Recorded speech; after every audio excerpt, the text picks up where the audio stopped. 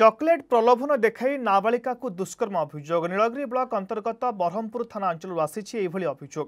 অভিযোগ পরে পুলিশ অভিযুক্ত অটক রাখিছে পীড়িতা ডাক্তার মাইনা করা মেডিকাল দিয়েছে অনেপটে অভিযুক্তর ডাক্তারী মাইনা করা কোর্ট চালান করা